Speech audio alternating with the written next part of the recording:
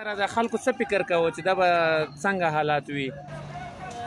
طالبان راتګ نه مخکې کاکا خلکو دا فکر کوو چې دا پخوانی حال وي او وهل ټکول به خلک ډېر ورخطا وو طالبان په لومړي راتګ سره چې خلکو ولیدل چې دوی حال ډېر ښه ده ورون سره لکه ورونه یو ځای دي لاس په لاس دي نو په دې خاطر خلک ډېر خوشحاله او راضي دي طالبان څخه اوس هېڅ مشکل نشته خلک خپل کارو ته راوتي دي خپل کاروبار کوي غلاوې ملایق بازار کې اوس نه کېږي نه مخکې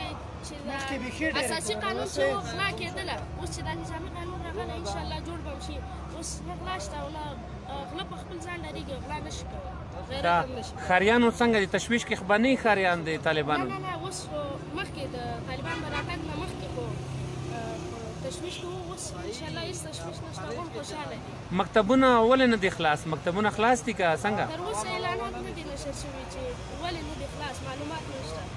دا مکتب ماشومان خو یریږي نه طالبانو نه نه نه یریږي نه غوړ ورسره خو خوښه او راضي دي ورسره خو چې